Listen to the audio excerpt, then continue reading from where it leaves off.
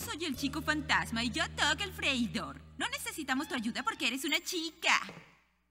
Bien, bien, ya basta. ¿Por qué no nos dijiste nada? Lo intenté, pero entre la condescendencia y la petulancia casi no tenía tiempo para nada más.